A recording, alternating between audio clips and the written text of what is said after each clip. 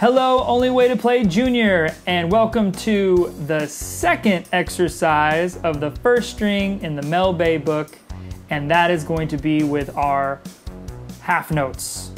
Now, like we did in the whole notes, we're gonna play each note, but instead of doing four beats, we're only gonna do two beats.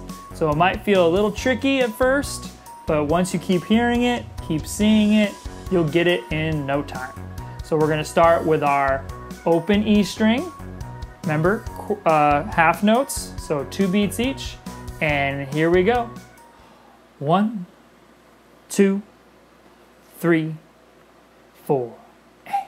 One, two, three, four.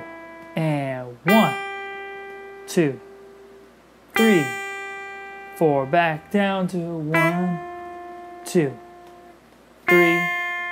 four, and one, two, rest.